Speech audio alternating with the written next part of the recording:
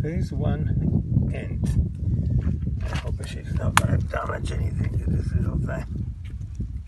I think this tomorrow is ready to eat it all because it's firm and it's twice the size from yesterday, right?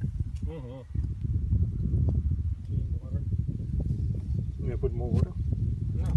Uh, put the water there, hide there for we we can wait it later.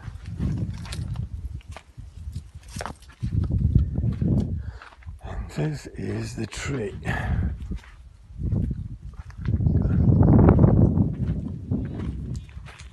Maybe tomorrow not to damage the mushroom, we start working on that tree.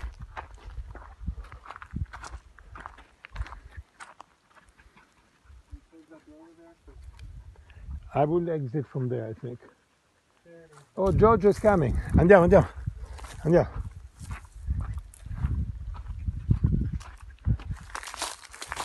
Giorgio cutie. I may have to give him a little hay.